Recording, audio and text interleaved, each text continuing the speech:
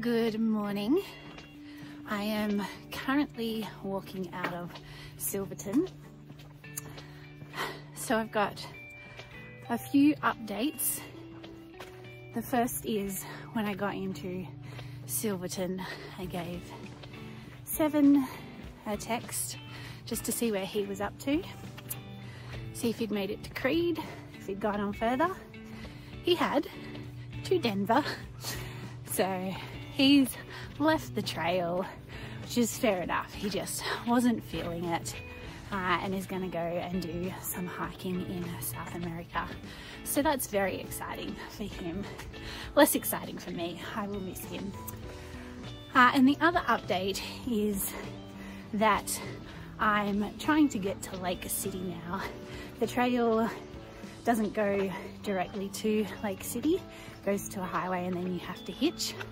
I, however, have found a route out of Silverton that will hopefully take me all the way into Lake City and I should be able to catch up with one of my other friends, which would be exciting. The one snafu in this plan is that there may be a river crossing that I'm hopeful isn't too bad with all the rain that we've had. Otherwise I will get turned around and that won't be a fun 20 mile walk back into town. And then I'll need to work out what to do next. And hopefully also the route is okay. As best as I can tell from the topo maps it is, but sometimes you just can't tell. So I'll keep you updated.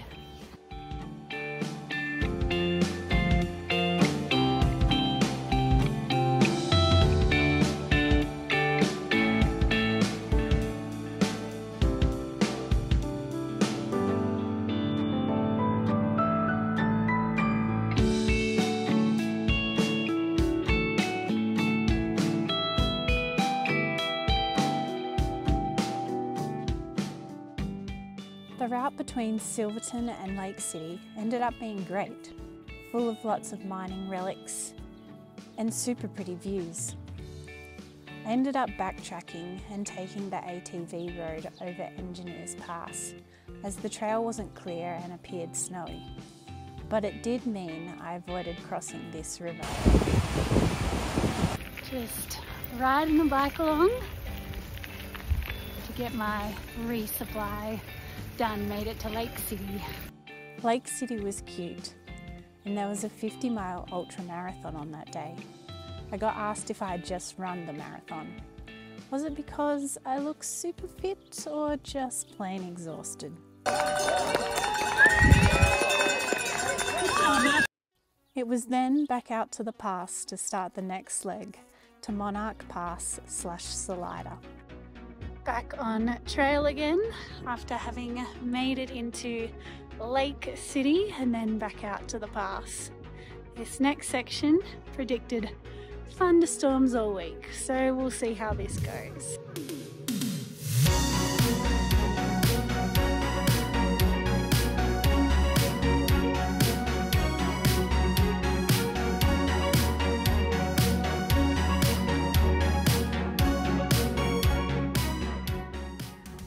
Walking along and I was like, something's weird. What is it? And then I was like, there's hardly any wind. I feel like this has been the first day in Colorado where I haven't had wind whipping around me all the time. It's amazing. I love it. So this is my climb this morning. Probably can't tell on video how steep that is but it's over 15% gradient, which doesn't sound bad, but it is one foot after the other plod. This is the second 15% gradient climb today. Starts around there and goes up over to there. This here down there is the Creede alternate where it rejoins here with the red line. And is where Seven would have rejoined with us if he hadn't have got off at Creede. Morning, made it to the top of the second 15% gradient climb. Got one more climb to go and thankfully it is not 15% gradient, slightly less. Made it to the top of the third climb for today and the last climb for today. There's now 15 miles of downhill, which I don't understand. And we drop below 10,000 feet, which I think is the first time we do that all of Colorado.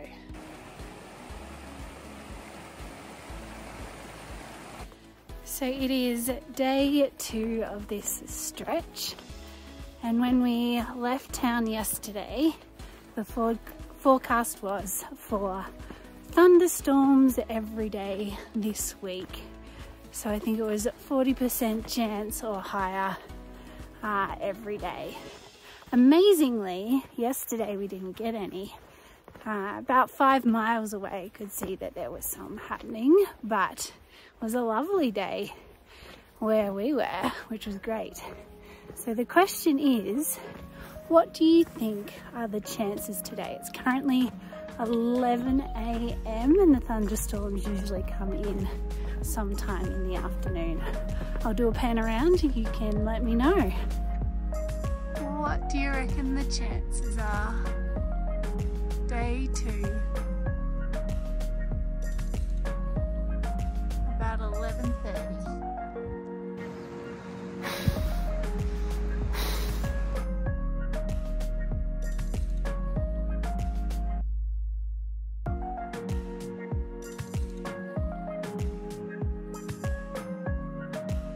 So it is 5 p.m. and have not had any thunderstorms yet.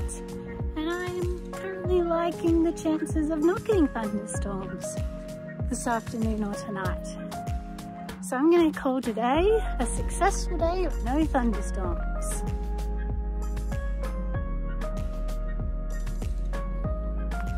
Walking this old Jeep road up to a saddled camp.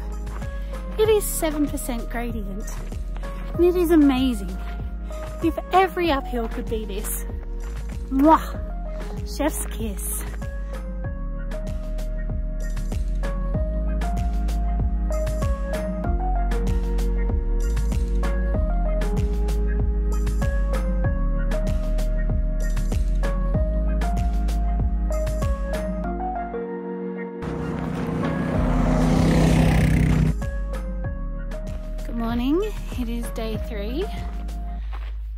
11 11 a.m.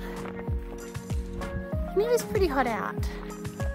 Today was the chance of at least thunderstorms, and I'm going with pretty sure there's not going to be any thunderstorms today.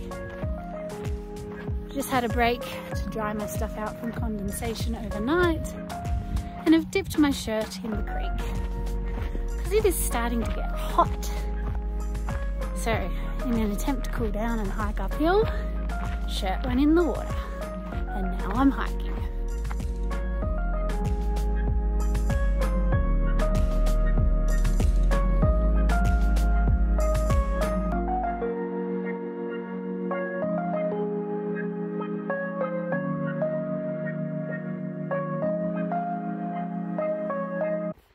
Good morning.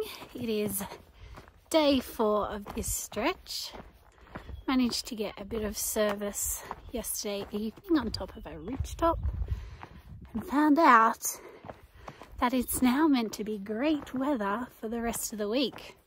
So, no threat of thunder, thunder, no threat of thunderstorms for the rest of the week, which is very exciting.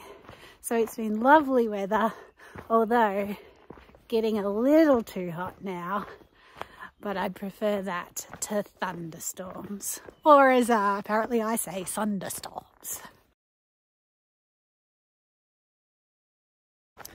So last night, I got so confidently told by my friend that the weather report was glorious bliss for the next week. It's now 2 p.m. and it's spitting rain. but at least it's not thunderstorms yet. So we'll see how this goes. So it's not thunderstorming, but it is well and truly raining now. Loving walking in the rain.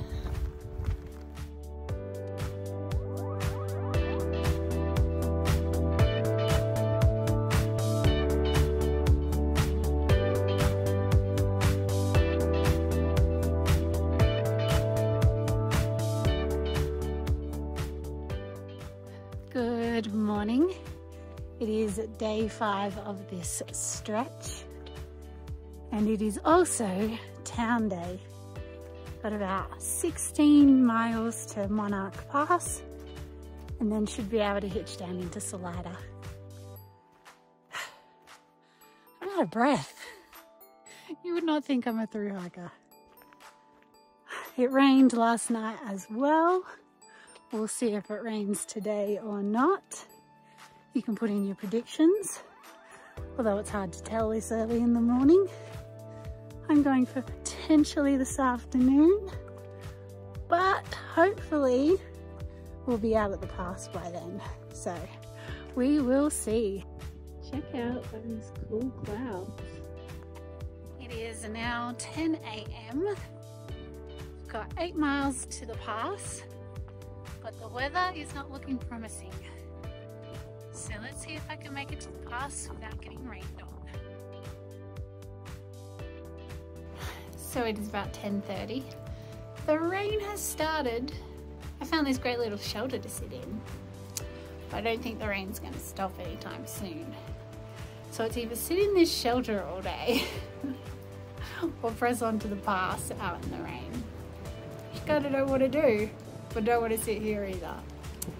And the rain's just getting heavier. What to do? Mostly made it to the top of my climb. It's a tiny bit of uphill ahead. It's just a bit of a gradual rise and then it's all downhill to the parking lot at the pass where there's a store. Gonna get some hot food. It's gonna be amazing. And the rain has stopped for the time being. So let's see if that can continue all the way to the pass. Although I am walking through the clouds, which is pretty cool. I don't mind that.